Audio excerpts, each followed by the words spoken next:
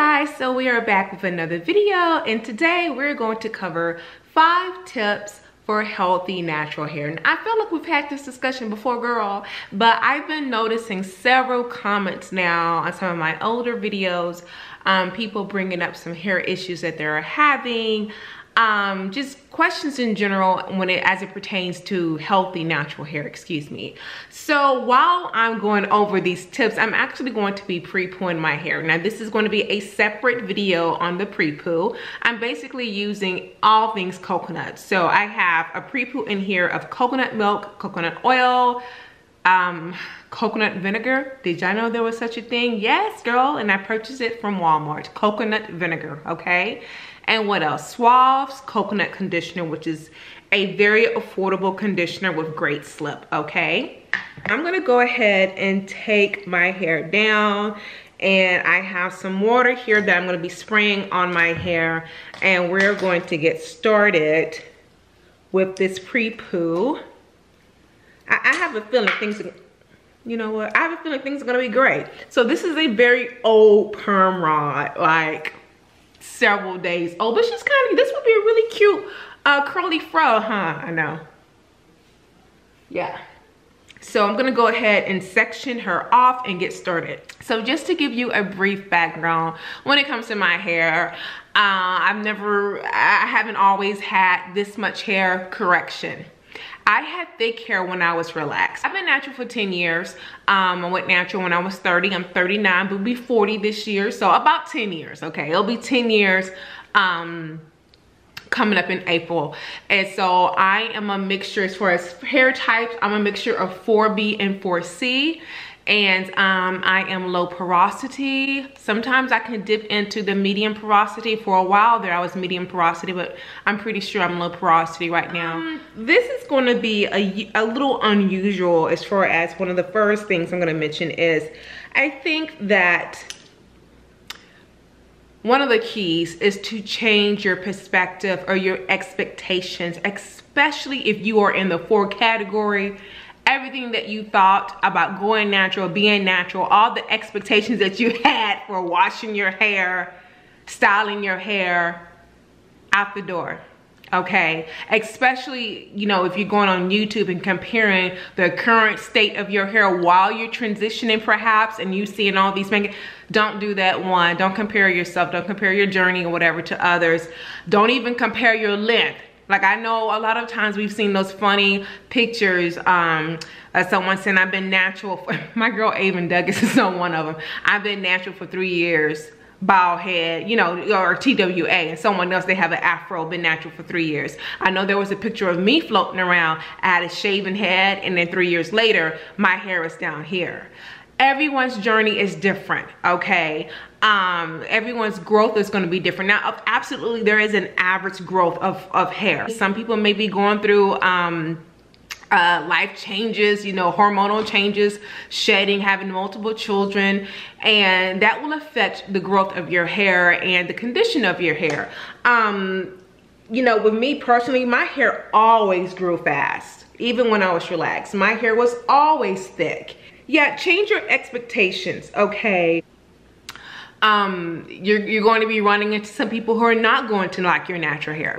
Um there's going to be some people who are going to be confused and like what's going on? But i think you know i don't i don't think a lot of that is happening so much now um, as opposed to six, seven years ago because there's so many people that have since gone natural and we see it now with celebrities and stuff like that and it's being more accepted in the workplace. So another tip is to make sure that you address any hair, hair concerns or hair issues sooner than later okay don't just think that your hair if you're if you're having some issues with detangling your hair girl your hair is not going to detangle it itself. You're going to have to come up with a regimen. You're going to have to come up with some products that work well for your hair your texture whatever um, and properly detangle your hair.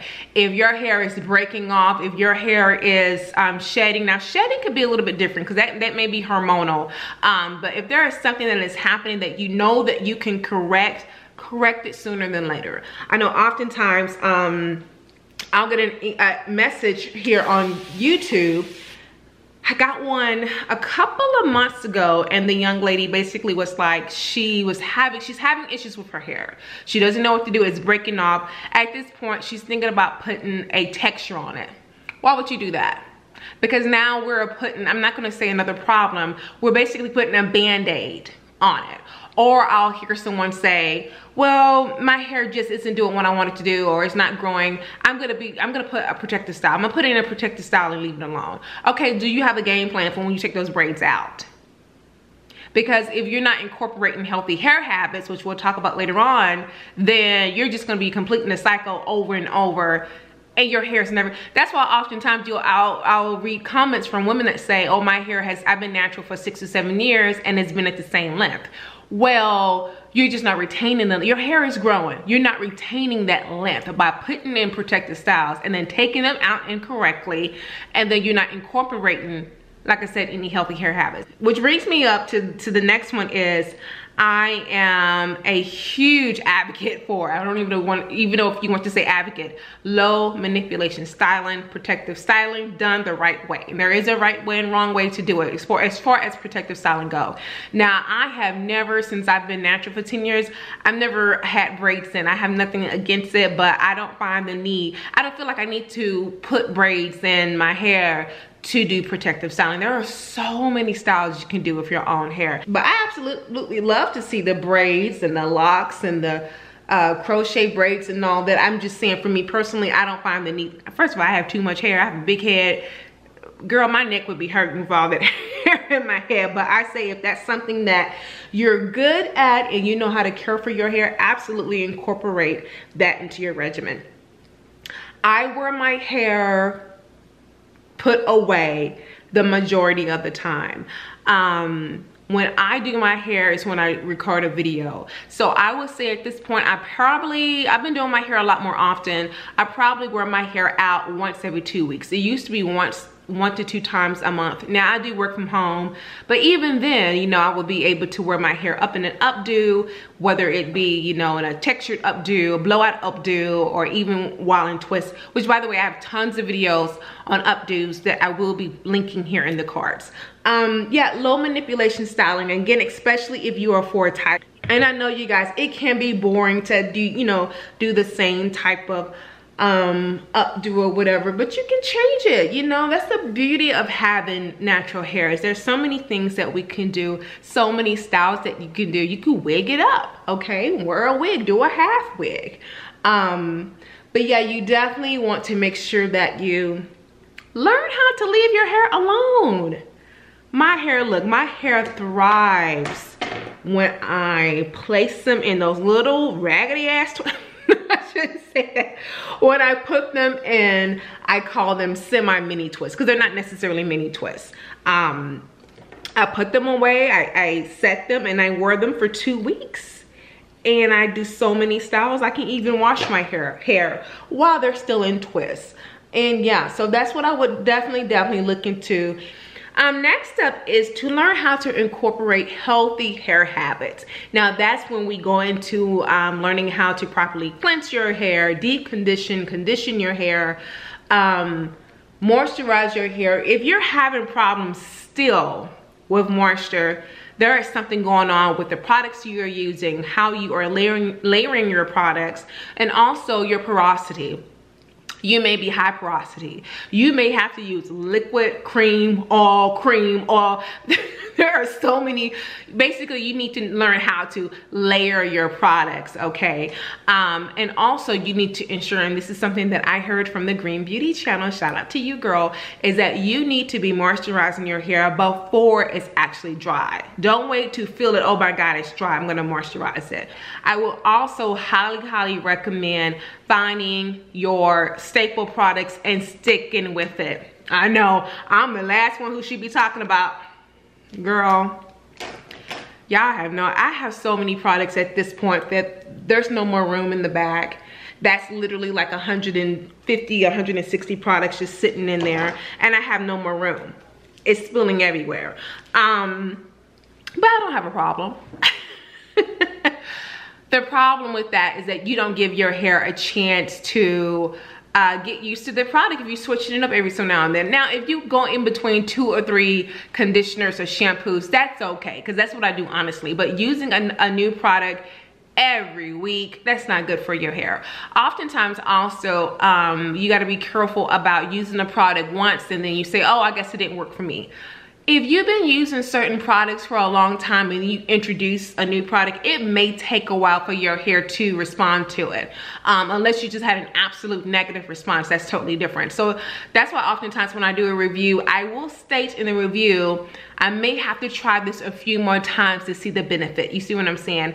Um, but yeah, stick to the same products, try them, you know, consistently. Be very consistent, okay? If you are going to be deep conditioning your hair monthly, deep condition your hair monthly. If you need to remove buildup, um, detox your hair, do it as needed. Just because you see someone doing fenugreek oil, I'm not saying any names, me, and they get, you know, they're, they're up here with bundles of hair, don't switch up what you're doing because you see someone on YouTube, now they have all this growth. Keep doing what you're doing and you're going to see results, okay? You just have to be patient with it, okay? For us, you know, detangling I know can be one of those things that I personally fall off of. Another one for me personally is trimming my ends.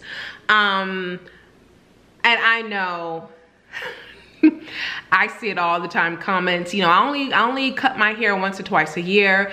Even Angel um, Nezzy Nap, so yeah, I'm calling you out, girl. She, we were speaking at the end of last year, she said, I noticed your hair was really, is a lot shorter. Then you mentioned that you cut your hair four times. I said, absolutely I did. I basically trimmed my hair every season, which would be four times that year to get it to its optimal health. When I tell you, it's, it's pretty healthy now, but when I tell you that my hair was so healthy at the end of 2019 and that is because I stayed on top of ensuring that my ends were clipped okay and then once you get a hang of it like my stylist Ms. Erlette Pender said then you can fall back to once or twice a year but I mean, I'm pretty sure there are stylists who watch my videos. Any good stylist will tell you, you have to stay on top of trimming your ends and ensuring you have to be consistent with that. And that is something I am bad about. Look, I've been natural for 10 years. Yeah, I shaved my head, but the longest my hair has been able to get to was, I think the back was like 21 inches length. There's no reason why I couldn't have gotten to bra length at seven or eight years, but because I go in for a trim and they always have to cut off a lot more. I'm losing all that that wife. All right, y'all. And last but not least, and this is something that I have been not so great about it, but I definitely see the results of this tip be mindful of the products you use and be mindful of the ingredient ingredients in those products. Now i don't know if you guys have heard the latest in regards to the uh, DevaCurl products. Um yeah those need to be pulled. If you're using those if you see them i would highly suggest not using those products. I'm going to be linking in the cards um, a YouTuber. I believe her name is the Curl Ninja. She used to be a DevaCurl unofficial ambassador, I believe. Um, those products are basically thinning out um, some women's hair and is is very similar to what the WEN product, I remember WEN, the infomercial, very similar to what that line is doing.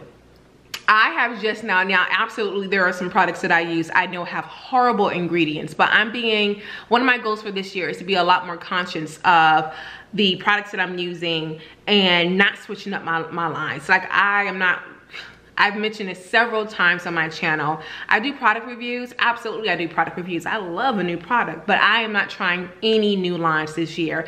I just feel like my hair at this point can't it probably can handle it but mentally i can't go through all this using all these different products you guys i honestly have been doing this as far as reviews for seven years now using god knows what and there was a time where I used several products that were not so good for my hair.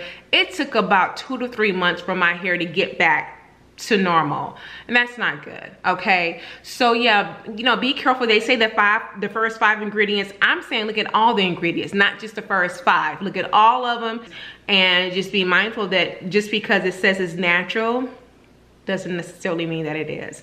Um, that's no shade to any company out there or anything. Honestly, it's not. Um, but there are some lines that I, I ride or die for. And there are some other ones where I'm like, hmm. I'm not going to name any names, Maui. But yes. there are some that you're like, wow. You know, because you they, they know what they're doing. These companies absolutely know what they're doing. A lot of us that have gone natural, we overall try to lead a, a healthier lifestyle overall, okay? So they use these words, you know, paraben free, um, sulfate free, excuse me, vegan, natural, um, made with coconut oil, shea butter, avocado, and we you know, we grab those products and like, oh great, this is gonna be good for my hair because they have all these fancy words, you know, vegan friendly and, you know, all of this stuff on the packaging. And then when you use it, you're like, it's not what you expect because it's like, wait a minute. Another thing is that oftentimes some companies will change their formulas, Cantu, and deny it, Shea Moisture. I am shading at this point because those are companies that have changed the formula of several of their products and they no longer work for, at least for me, they no longer work for my hair. So be mindful of that too. You could be using a product for a while, then you're like, wait a minute, why am I getting residue with this product now? What's going on? Um, so yeah, you guys, that is it. If you have any suggestions down below, I know we do. I don't know it all. I don't claim to know it all. This is one of the reasons why I'm on here is to share information. It's a give or take thing. This is a relationship, okay? if you have anything else to add, let's discuss it. Jot it down below in the comment section. Let me know what are you doing to um, ensure that you have healthy hair. And this is another thing I want to say before I get off of this because something about us having that length. Now I get it, girl, absolutely. You know, you wanna have long, healthy hair, but long hair does not equate to healthy hair. I oftentimes see You'll see examples of people who want to hold on to ends, hold on to damaged hair. Um, cut it off cut that off because it's, it's it doesn't make any sense to hold on to that you know. It, first of all it doesn't even look right. So let's not you know focus too much on the length and having that long hair even having you know super thick hair. Let's just instead focus on incorporating healthy um uh healthy hair habits excuse me and great products for your hair and your hair will grow. It really will. So that is it everyone. Thank you so much for watching and thank you as always to all my subscribers. Take care Thank you.